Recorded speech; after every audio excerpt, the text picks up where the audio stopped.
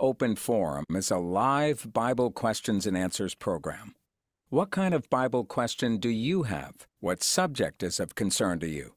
Well, this is a program designed to offer you the opportunity to call in and ask questions or comments relating to the Bible.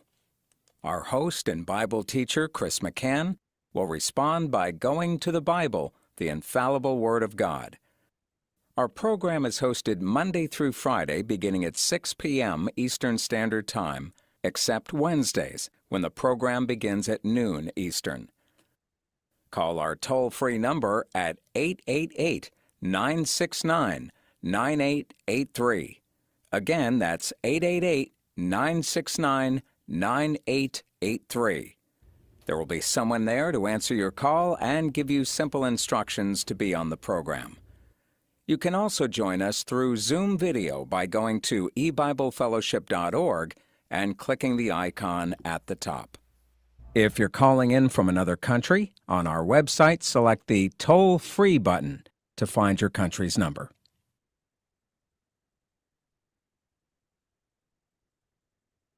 Good evening, everyone. Welcome to E-Bible Fellowship's new open forum program.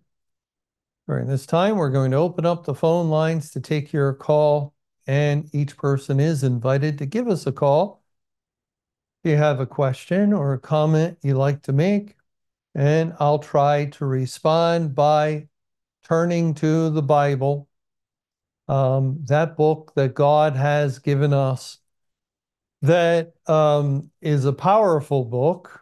It's a living and powerful book.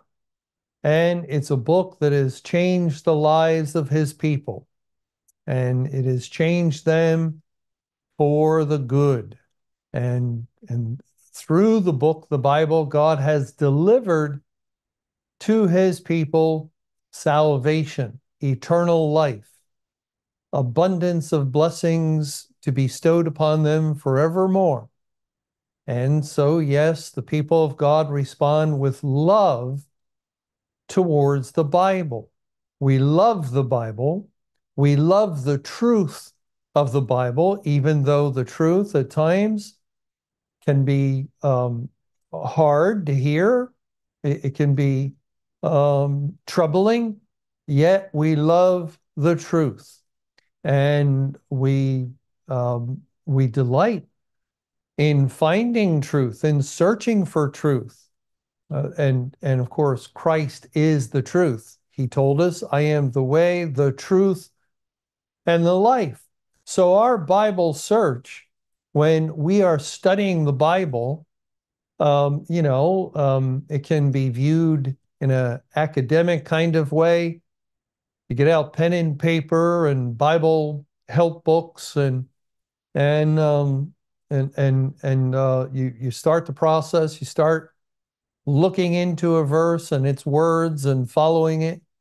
Yet our real search is for truth. And, and uh, in that, we can say we're searching for Christ because Jesus is the essence of truth. And so, no wonder when we find it, we delight. We delight. We are joyed. We're happy. Um, uh, you know, unlike um, uh, a few things in this world, uh, there's a certain kind of joy that the Lord gives His people in their their pursuit and in their finding of truth, and uh, it is just a wonderful thing.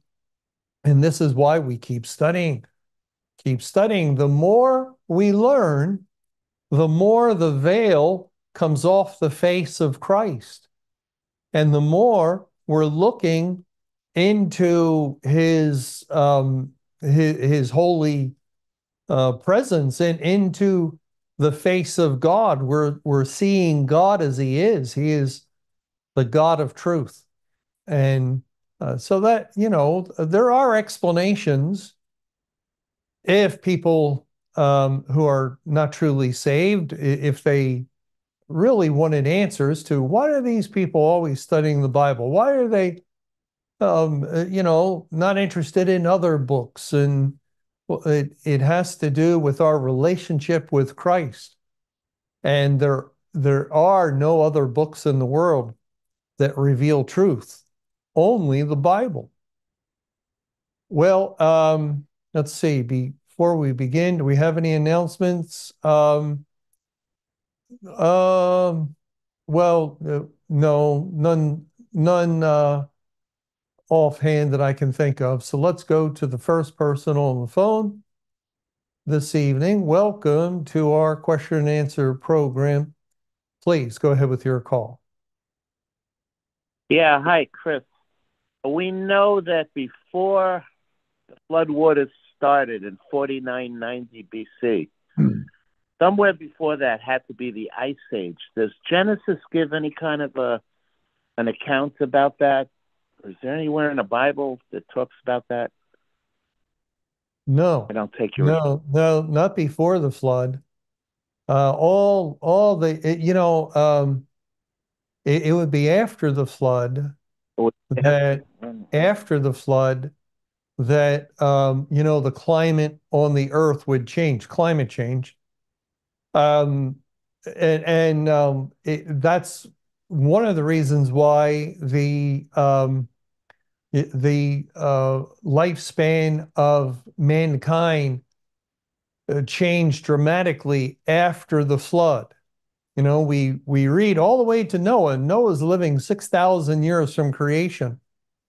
That men were living in the hundreds of years. Noah was 600 years old when the flood came, and he lived after the flood 350 years. Uh, but it's it's uh, pretty much in line with the flood that the um, you know the ages of the patriarchs begins to drop significantly from 900 uh, to um, just around three, four, five hundred uh, for for the next couple of patriarchs, and and then it gets down um, to the time of Abraham, Isaac, and Jacob, and they're living roughly about uh, you know 175, 180 years um, and, and then in the time of Moses, the Lord caps it with um, what he said in Psalm 90 man's days will be 70 or 80 years. And it so happens that that is a, just about um, perfectly describing the average lifespan of men and women today. They live between 70 and 80 years with all the modern technology uh, it it still hasn't um, increased really what God said in uh, Psalm 90. Uh, and, and so we have to ask why? Why the change? Um, uh, I, I think Mr. Camping put forth a theory um, that I think is true, which was that there was a, a sort of um, a, a, water um, um, a, a, water vapor that that was um, in the heavens. It, it was like in space, uh, deep space water clouds uh, that served to protect man from harmful rays. Um, and yet the Lord brought the earth. At the same time the rain is falling from heaven and waters are coming up from the deep. The Lord brought the earth or, or these clouds into the pathway of the earth. So um, it would meet and and there would be this tremendous deluge uh, so much water that it would rise 15 cubits above the highest mountain and that would take away again some of the protection that was built into the original creation uh, you, you know, God originally designed man to live forever. Some people read the Bible and they see that Adam lived to be 930. And um, uh, Methuselah uh, it has the oldest recorded age of 969. And, and right away, you know, they roll their eyes, oh, sure. And they don't understand that the human body was, was a perfect machine it, it was created without any um, uh, disease, without any, um, you know, ability to fail. Well, um, it, it was perfect. It was good in every way, and and therefore, once God um, uh, smote man, slew him in his soul, and and uh, um, brought the consequences of man's sin upon the body, um, then over the course of time, now the body would begin to fail. But it's like anything when you have a perfect machine, absolutely perfect. Well, to go from living forever, which man would have done if if he simply obeyed and kept the law that God has, had established about that tree, it, it, the body was designed to live forever on the earth. The earth was designed to function forever. And, and so God also would have had protections in the earth itself to allow longevity, to allow man to live and live and live. And, and yet, once man sinned, then the body starts breaking down. And to go from um, eternity, uh, you know, um, um, conditional eternal life to a period of 930 years, and people think, oh, that's too great an age. No, that's a pittance. That's nothing. Uh, 930 years. Uh, where's Adam now? Well, Adam's Adam's dead, long dead. He's been dead for thousands of years, for about you know over over um, let's see, he lived to say the first thousand, so he's been dead over twelve thousand years. Shows you what a pittance it is, and and and the foolishness of men to um, you know to give up um, all idea of eternity by forsaking the things of God in the Bible, wanting nothing to do with them. I'm going to live my life. Yeah, you're going to live. If if a thousand years or 930 years is a pittance, what's 70 or 80 years? Or or of course, you know, it's an average. So some live 90 or 100, others die at 50 or 60. And uh, what is that? That's nothing, nothing at all. And and so um, the protection, I, I, think one of the protections would have been this uh, water vapor canopy uh, in the heavens, protecting against harmful rays, and and uh, it it stayed in place all the way until the flood. And after the flood, it wasn't there anymore. It wasn't there, and and man's days began to shorten. And um, the the flood just rearranged the geography of the earth and um, the climate of the earth. Um, and apparently, um, there in, in, certain parts of the world there there was a ice age, and and uh, the dinosaurs died at, uh, sometime after the flood. They didn't die before the flood, or uh, well, most of them would have died in the flood, but uh, the Lord would have saved a pair of them at least, and and brought them on the ark and they would have reproduced, but uh, maybe due to climate, uh, again, who knows how how you know these details worked out. But um, yeah, uh, before the flood, there's nothing in the Bible about any kind of ice age. But thank you. Okay. You're welcome. Thank you for calling and sharing. And let's go to the next person on the phone. Welcome to our question and answer program. Please go ahead with your call. Hi, good evening, Chris. How are you? I'm doing well, thank you. Please go ahead. Can we look at Acts 3, verses 19 to 21? Okay, Acts 3 and verse 19. Repent ye therefore and be converted, that your sins may be blotted out when the times of refreshing shall come from the presence of the Lord, and he shall send Jesus Christ, which before was preached unto you, whom the heaven must receive until the times of restitution of all things, which God has spoken by the mouth of all his holy prophets since the world began. Where it talks about in verse 19, when the times of refreshing shall come, where um refreshing is um Strong's number four, um G403, which comes from G404, meaning to revive, and which in turn comes from G uh, compound word G303, which means every man or each, and 5594, which which um has to do with um wax um wax cold uh, um as Mm. in uh, Math, Matthew 24 12.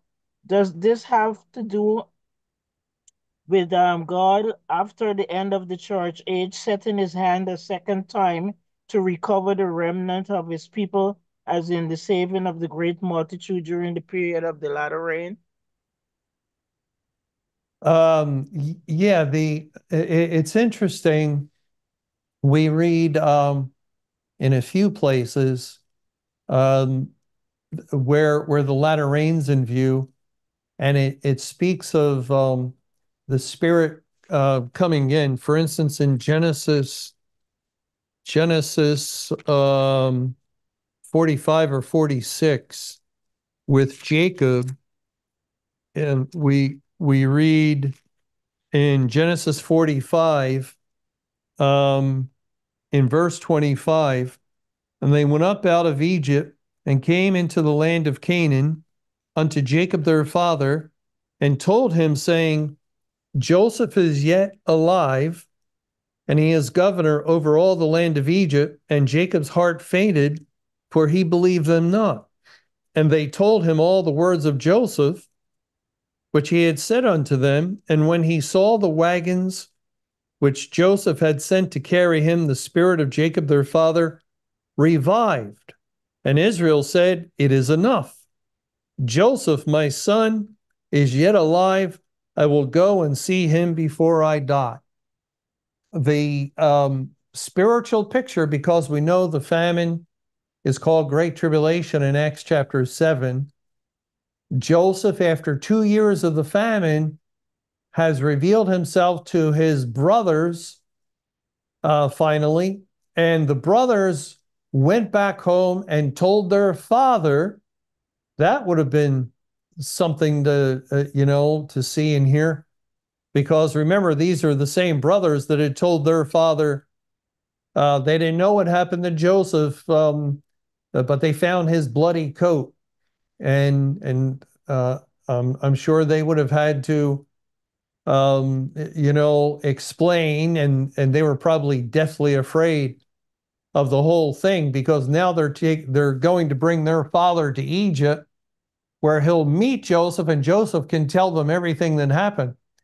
But but anyway, uh, this is after the two years, the two years of famine, um, when uh, Jacob and Israel are in the land of Canaan, represents the first part of the actual 23 year Great Tribulation period, the 2300 evening mornings, which works out to six years and almost four months from May 21, 1988 through September 1994, there's a famine, and uh, the people of God are, um, uh, you know, they don't know what they're going to do.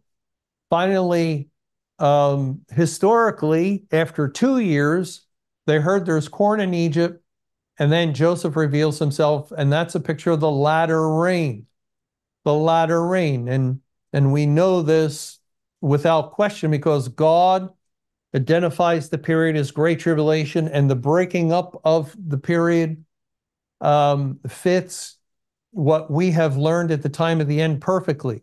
For instance, when Joseph revealed himself to his brothers, and that's a little, it's in this chapter, Genesis 45 at the beginning, he said to them that there's a seven year famine. It's been two years in the land, it'll be five more years. And now, now just think of that as great tribulation. He's saying it's seven year total, so they can know the they can know these dates. They can know because they know what year it is then. The famine started two years earlier, 1879. Now there's a change. Something's changing in the program. 1877, they're going to leave Canaan, go into Egypt. But they also know that it will end in the year 1872. Three dates 1879, 1877, 1872. Beginning, dividing point, end of the seven year famine. Compare that to what we learned, and uh, it, it's just, um, you know, remarkable. We learned the actual 23 year Great Tribulation or spiritual famine on the church. Its beginning, 1988. Its dividing point, 1994. Its end, 2011. The, just those three main dates. Those three main dates. It it matches perfectly. And, and so here, uh, it's the dividing point, which identifies with the Jubilee year 1994 when the latter rain began. And Joseph is yet alive. Jacob's heart uh, fainted at first, for he, uh, I added the word first, he believed them not. And they told him all the words of Joseph, which he had said unto them.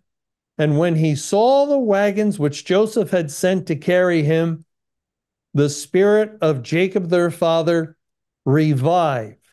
And Israel said, It is enough. His spirit revives.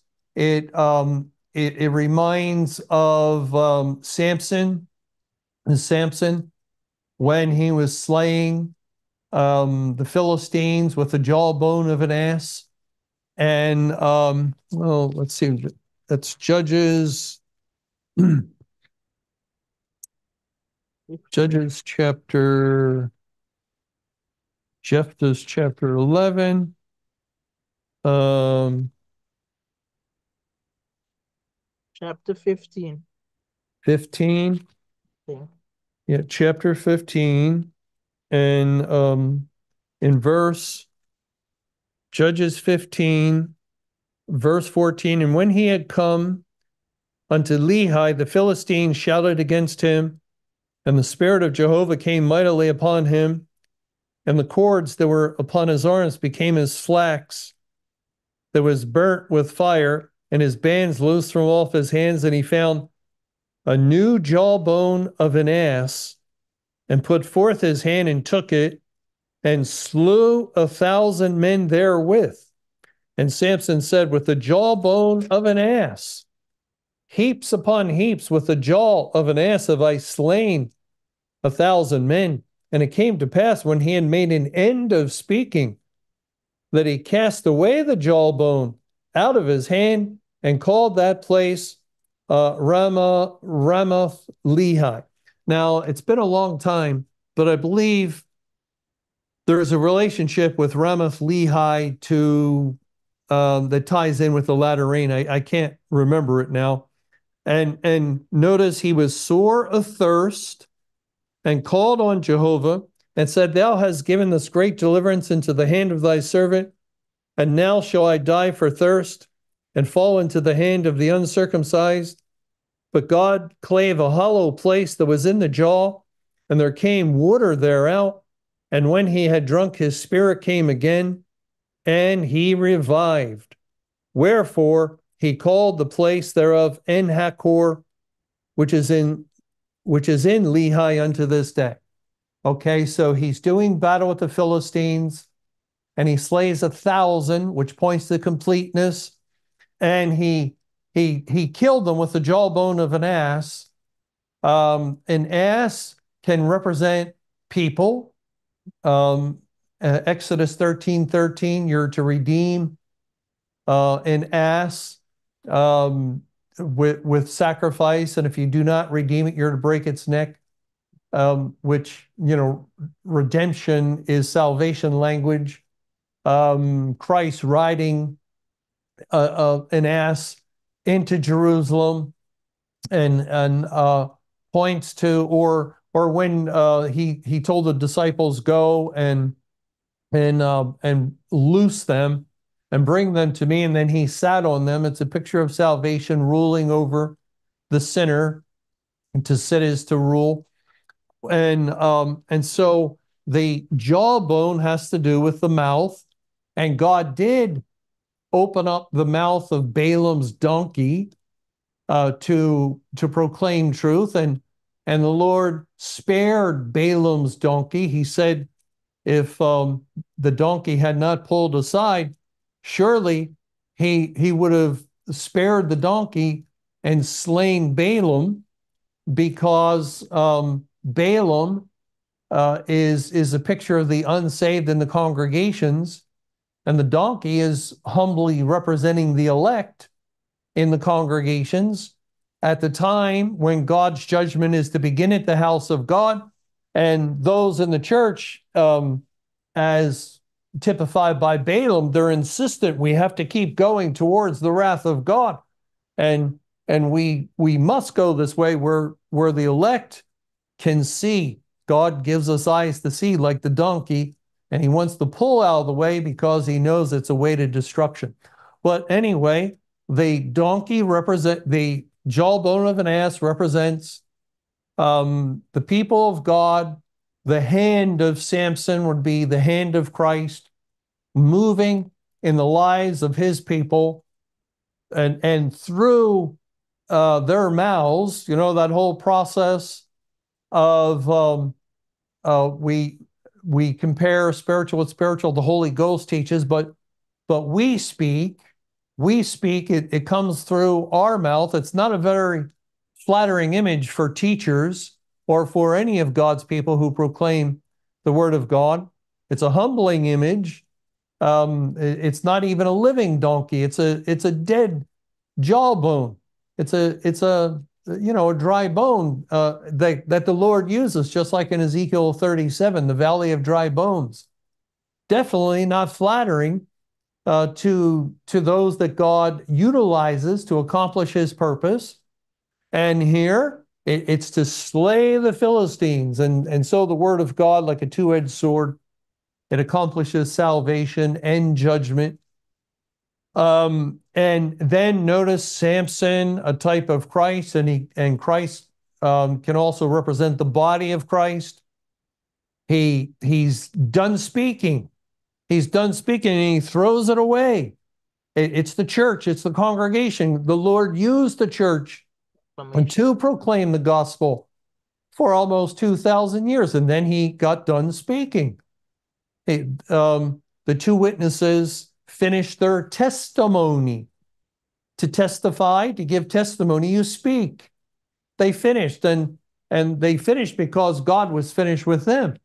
And and so to here, Samson, uh, Christ is finished with the using the particular testimony uh, within the churches and congregations. So he just throws it away, and then he's athirst, and the the water comes out of um, um, a, a, hollow place, or God clave a hollow place that was in the jaw, and there came water there out and when he had drunk, his spirit came again and he revived.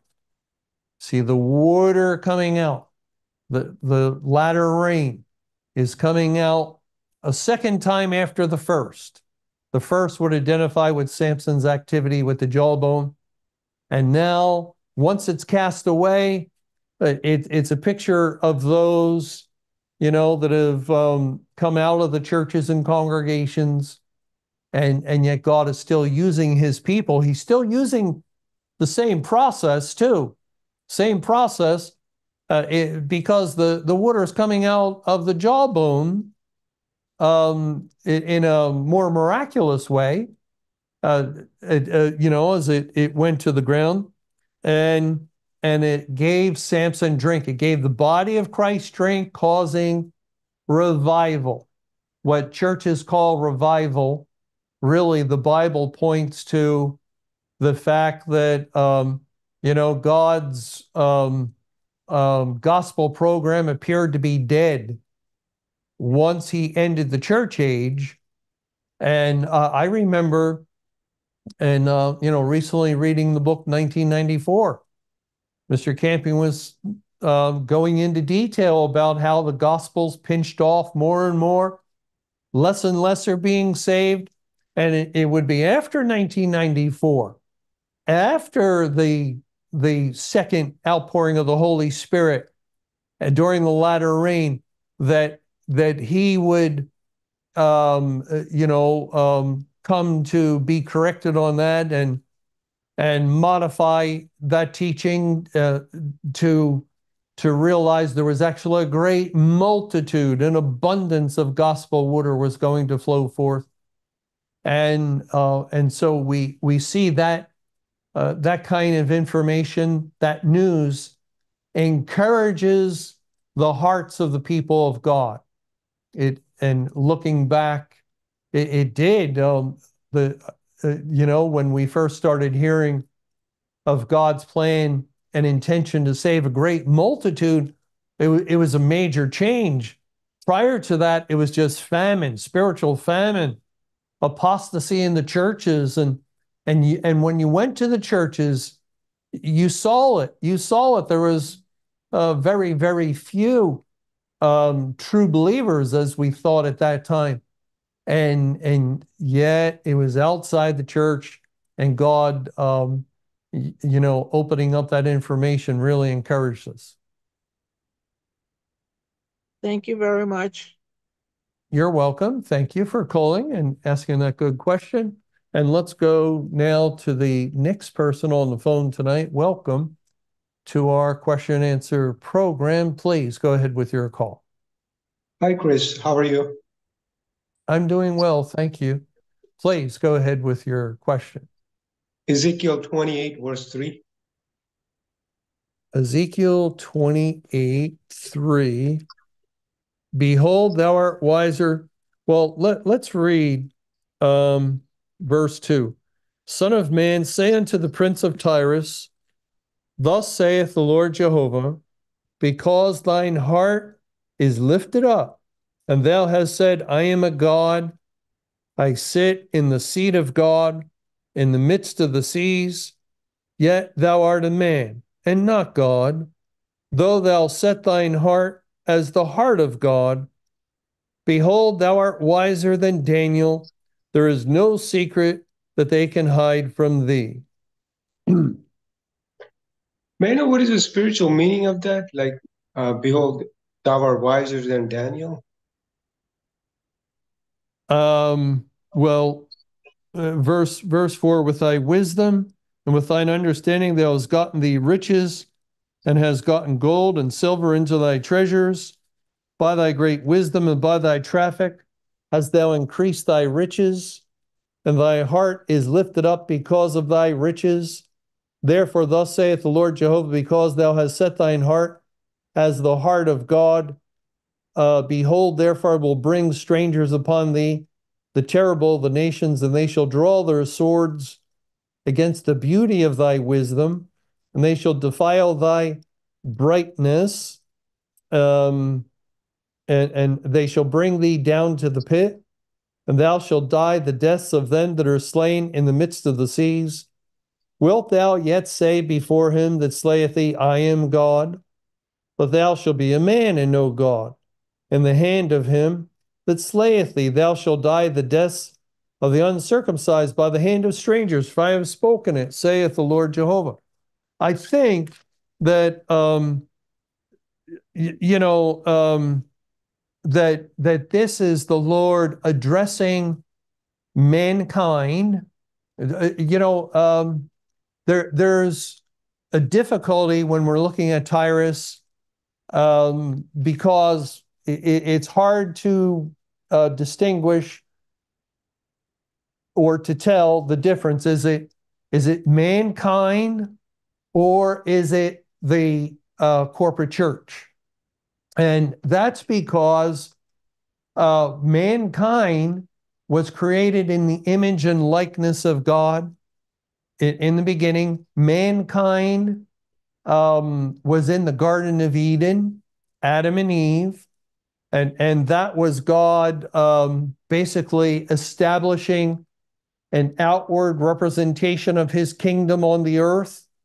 The um, the um, the Garden of Eden, we would say, was the first outward representation of God's kingdom on the earth. There was no reason for it. Why would God, um, you know, set some limits and call this area the Garden of Eden when when the whole world was perfect? But He did so in order to, um, you know, set a pattern and establish certain principles. And, and so, in other words, mankind just like Israel later, thousands of years later, Israel had a special relationship with God in their day. They became the outward representation of God's kingdom on the earth, just like the corporate churches had a special re- relationship with God, became the outward representation of God's kingdom on the earth. And sometimes God will make reference um, to to um, judging um, one of these outward um, representatives, and he'll he'll uh, he'll say it was like the Garden of Eden before him, and yet as his wrath came, he turned it into a desolate wilderness behind him.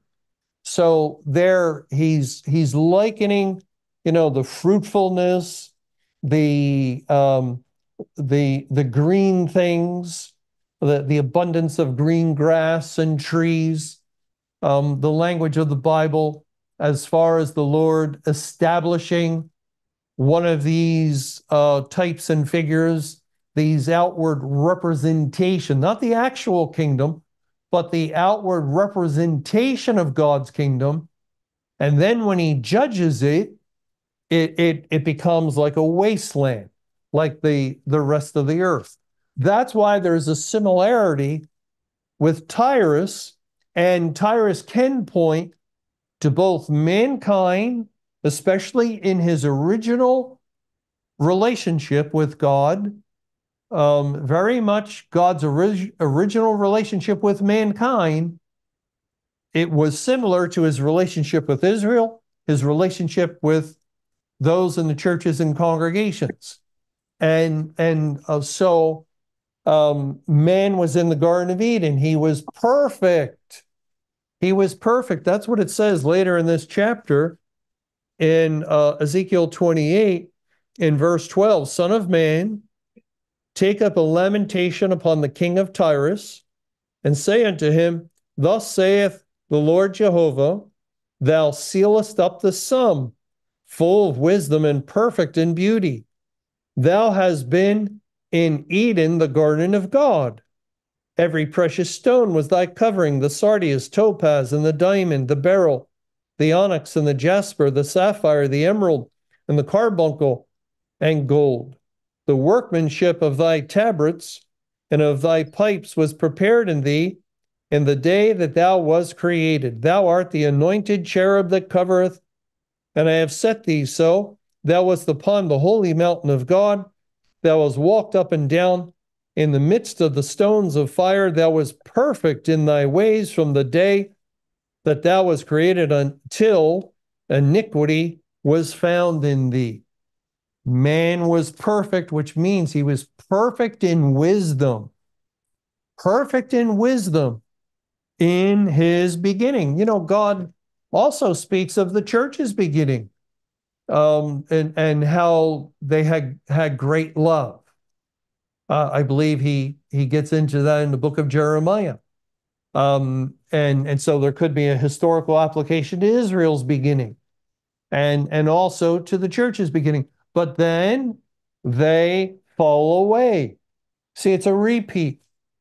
Perfect man in the Garden of Eden, perfect in wisdom, perfect in beauty, and then he he goes astray. He sins causing the, the wrath of god to come upon the garden to come upon man and the whole creation.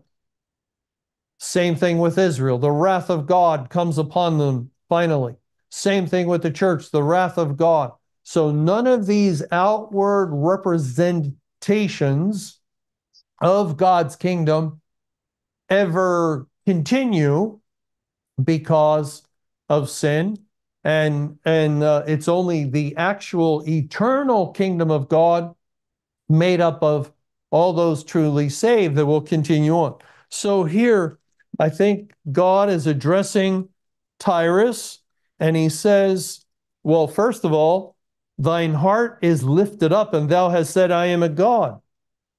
For your heart to be lifted up that's pride, that's arrogance, that's sin. It's, it's according to man's fallen nature. So we know it's not talking about man um, as he lived perfectly in the garden. This is after the fall. Uh, I sit in the seat of God in the midst of the seas, yet thou art a man and not God, though thou set thine heart as the heart of God. It's um, you know the the the vestiges of man's condition in his original creation remain until today. With, with man's pride, thinking he is something, thinking he's, um, you know, he, he's a little God. That, that's how people tend to view themselves. I will do as I please, like he is a sovereign. He will dictate the course of his own life, and uh, he thinks he is all wise when it comes to himself and how he's to live, and all and often when it comes to others. Um, and and this is probably again uh, we were created in the image and likeness of God. We God uh, in uh, Luke four, in Luke Luke chapter no, Luke, um, Luke 3, the end of Luke 3, the last verse, verse 38. It's a long genealogy. And it says, which was the son of Enos, which was the son of Seth, which was the son of Adam, which was the son of God. God created Adam. Therefore, Adam was God's son. Uh, and and this is the noble, honorable um, state of man in his original creation to be called the Son of God, based on the fact that God made him from the dust of the ground. And and so people they uh, of course sin has ravaged the earth. It's ravaged mankind it's, it's polluted and perverted and distorted and ruined that image again and again and again with a, uh, man's own dirty deeds and, and the, the filthy uh, conduct and behavior in thought, word, and deed that he is engaged in, yet still within, still within is, is this sense, this sense of this high nobility and wisdom. And, and, and so uh, I think uh, that's what God is addressing in verse 3 Behold, thou art wiser than Daniel. There is no secret that they can hide from thee. With thy wisdom, see, the Lord is saying, it's not the wisdom of God uh, God gives his people wisdom, who is Christ. God gives his people wisdom through the word, the Bible. It's not that.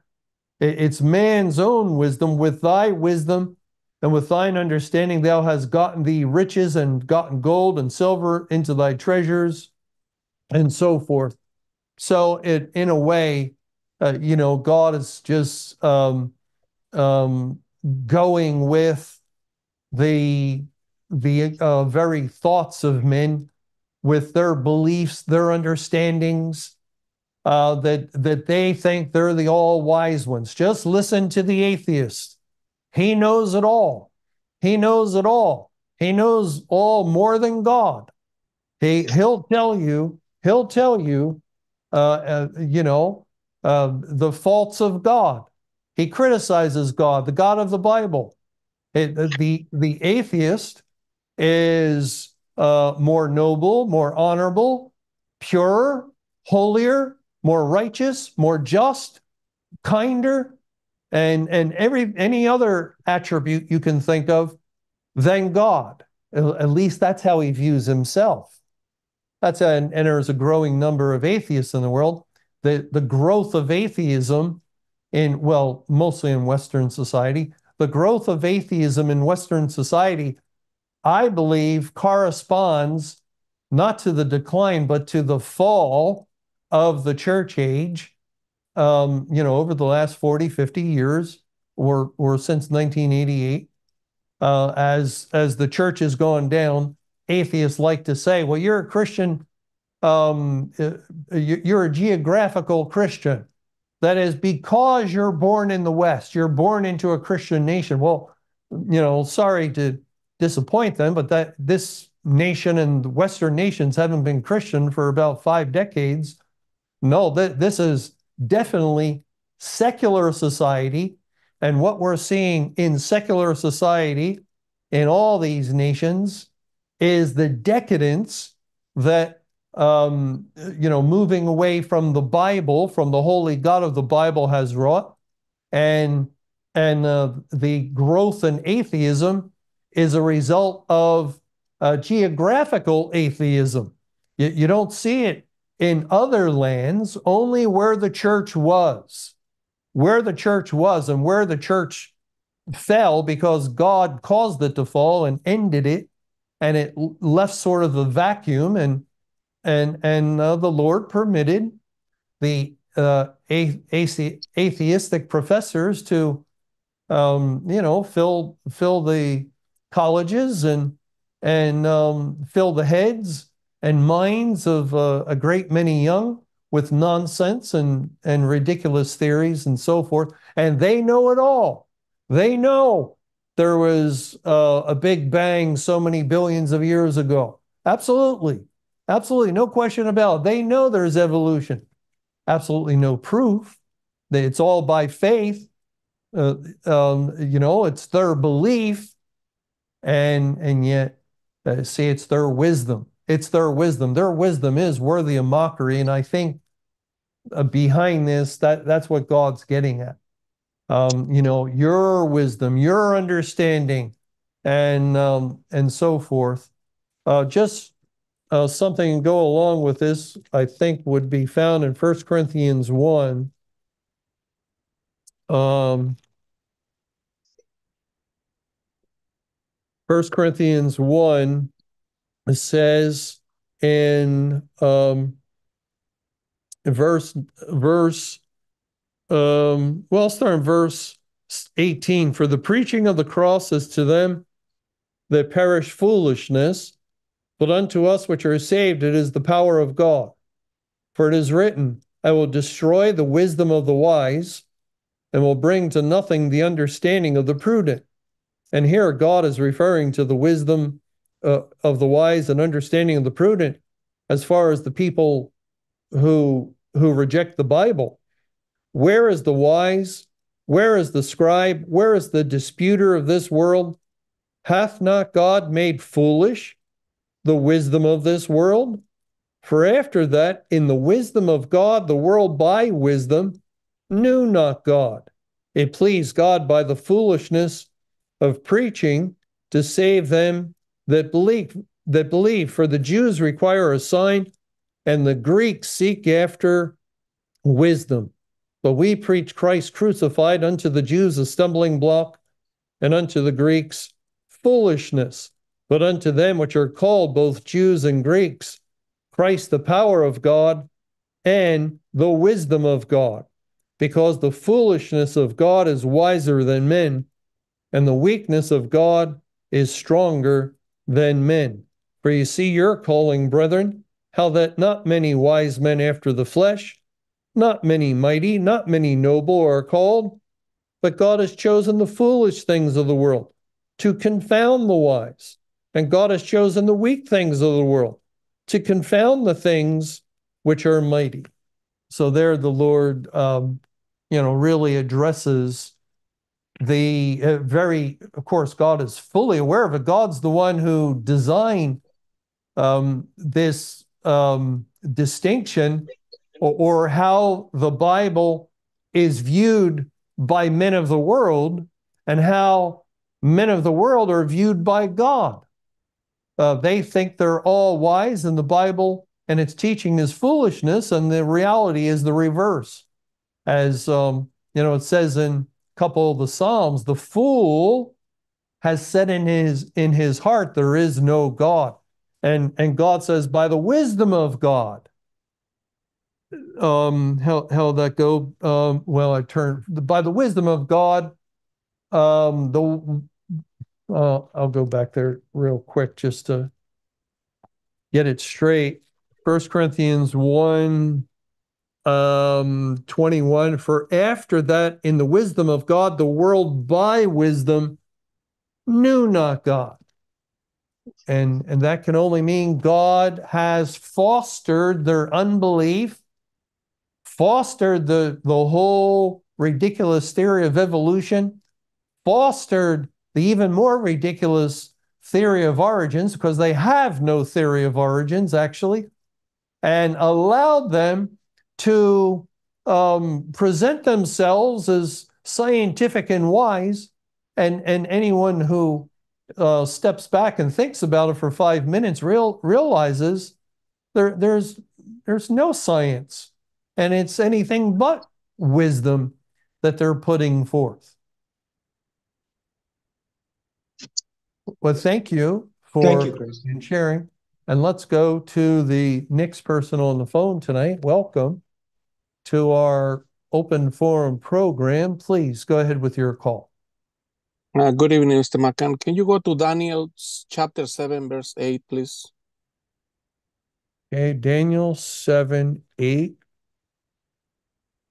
Um, that says, I considered the horns. Uh, well, let's back up a little bit.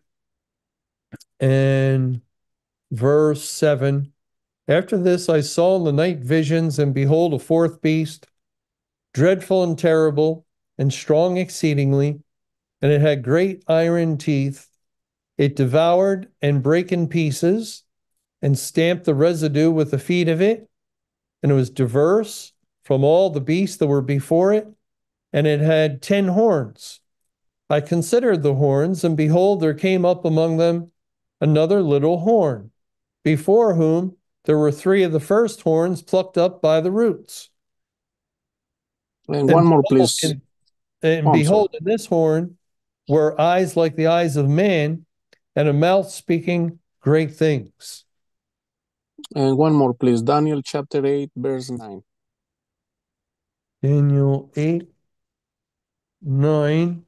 And out of one of them, uh, well, again, uh, verse 8. Therefore, the he goat waxed very great, and when he was strong, the great horn was broken. And for it came up four notable ones toward the four winds of heaven. And out of one of them came forth a little horn, which waxed exceeding great toward the south and toward the east and toward the pleasant land. Uh, sometimes the Lord uses uh, saved men to accomplish his purposes. And uh, uh, and it just uh, was thinking, it, is this talking at all, at all about Alexander the Great? And uh, what do you think about that, Mr. McCann? And and, and if not, uh, who is the Lord talking about here? And thank you. Well, yeah. Um, some um, have have put forth, uh, you know, that some of the prophecy that we find in Daniel uh, is is referring to um, some of the uh, the the kings that that rose up uh, basically in the period of after the Persians conquered Babylon, you know, for a few hundred years there, including Alexander the Great. Um, and I I don't I don't I, I kind of struggle with that uh, because um, you know where where do we get it from? Where do we get the tie-in? And basically, we're looking at secular history. Uh, what we're we're looking at things the Bible says, and we we have some information from secular history, and we're saying, okay, that's a match. Um, and I don't, I just don't see um, the Bible directing us to that. Uh, you know, the Bible is an eternal, internal book, internal book. Um, that's why compare spiritual with spiritual can be understood to be scripture with scripture. They're, the boundaries of the Bible are Genesis through Revelation. Um, stay within the landmarks, the ancient boundary lines um, when seeking truth. And we know when people go outside those ancient landmarks, when, when they go beyond um, the limits of Scripture and they start, um, you know, uh, they're, they're seeing something in the Bible and in their time, in their generation, normally they're saying, okay, now this uh, man over here, this man over here, uh, or this country, uh, like some say Russia during the time of the Soviet Union was prophesied in the Bible. It wasn't. Some say the man of sin was the Pope or some particularly evil man like Hitler. And no, uh, it wasn't either of them. The man of sin was Satan himself. And, and normally, uh, it going outside the Bible is um, bound to lead to error, to um, incorrect doctrine. Um, now, now it's true we can learn a whole lot in the Bible about a particular subject, like uh, God judging the church the apostasy of the church, the characteristic of the end time church going after signs and and um, supernatural um, activity, tongues falling over backwards, um, the charismatic movement. We we see all that in the Bible clearly, and it's speaking about an entity that that is the church. There's no guesswork about that. And and then uh, not that we were proving it by the uh, things that are happening in the world, but it just matches the things the Bible's saying. Likewise, with the world's abounding iniquity, Matthew 24 12. Iniquity will abound uh, at the time of the end, or Romans chapter 1, where God says, I will give them up. Um, uh, men will will um, work with or do that with men, which is unseemly. And, and the Lord speaks of homosexual activity. At the time of the end, we have Sodom and Gomorrah that um, gives us a historical situation of homosexual activity. And Jesus said, uh, As it was with Sodom, so shall the coming of the Son of Man be. So there, uh, in Romans 1, I will give up man is the word deliver, and that is used it, um, in regard to judgment. So we we have that information. We have the timeline. We can pinpoint the end to uh, our our um, time period. You know, over these last several years, and it matches. It matches. But we learned it all in the Bible. It's not like we saw all this taking place in the world and then we went to the Bible to try to find verses to match that. That's that's not how it should be done at all.